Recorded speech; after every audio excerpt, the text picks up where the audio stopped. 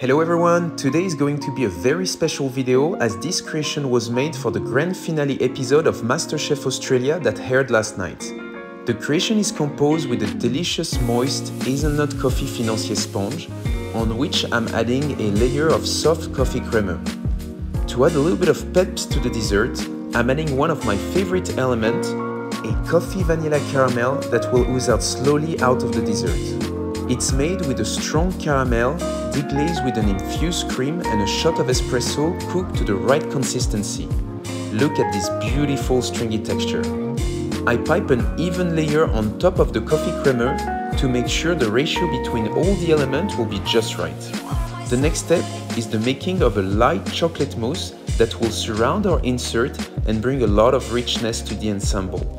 For extra indulgence and to bring an additional layer of texture, I'm adding to the base of the dessert a double chocolate chip cookie. Don't worry, I ate the scrap, I do not throw anything away. Once the cake has been unmolded, I can glaze it with the delicious dark chocolate glaze before dipping it into chocolate to create a very thin layer of texture that will also help for the overall structure of the dessert. I then stamp the glaze with a little bit of gold dust to create the numbers and I can begin the crafting of all the visual elements out of chocolate, starting with the bezel that will hold the final touch, the sugar lens. Once added, I can focus on crafting the crown, which I make out of multiple casted elements all glued together. This usually is my favorite part.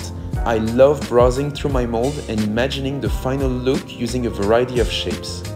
I find the perfect spot to add my stamped logo, then I can finally color everything in gold and attach it to the dessert.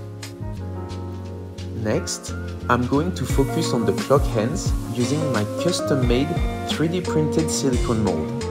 Once all the elements that compose the center are done, I can glue them all together with the help of a tweezer and finally add it to the center of the dessert. We finally get to the fun part, the sugar lens.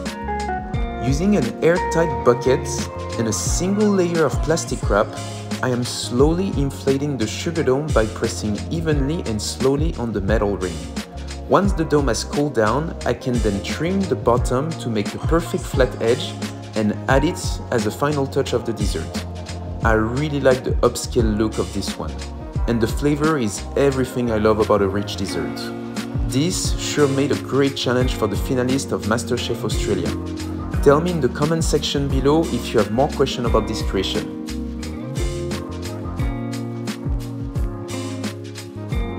See you soon everyone!